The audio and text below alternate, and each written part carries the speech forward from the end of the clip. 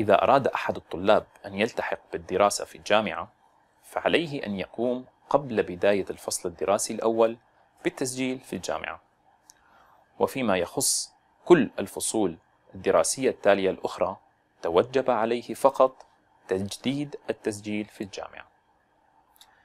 مع تجديد التسجيل في الجامعة فإن الطالب يقوم بإخبار الجامعة رسميا بأنه يرغب بالاستمرار بالدراسة للفصل الدراسي المقبل.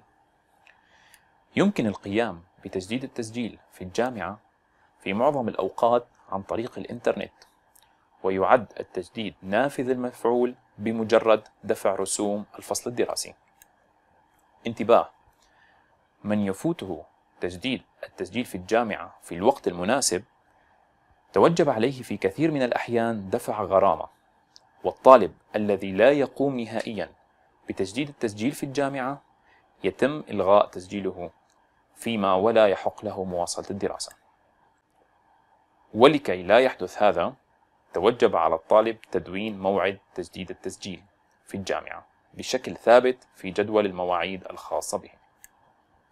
وكما هو الحال دائما هنا ينطبق مبدأ التزود بالمعلومات مسبقا على موقع الجامعة. حول كل ما يجب الانتباه إليه فيما يخص تجديد التسجيل في الجامعة.